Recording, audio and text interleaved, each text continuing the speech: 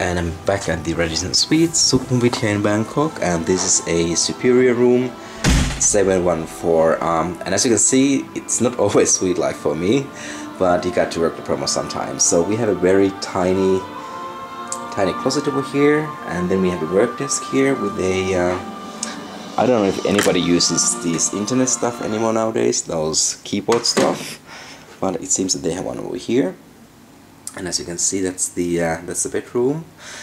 This is like super tiny. I'm not super super tiny but a little bit tiny. And here we have a mini bar.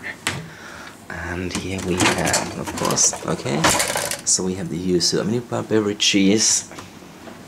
And here we have the uh, the toilet and the shower. Okay.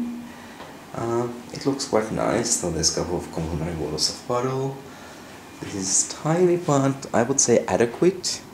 I don't mind staying here if I get 50,000 points. Um, enough for a free night.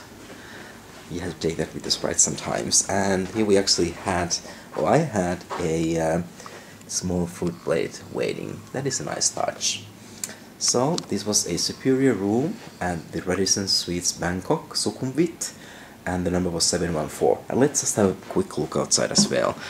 Uh, yeah, there's the uh, quite interesting. There's a garden, but not much else. So, Radisson Suites Bangkok, uh, Superior Room 714.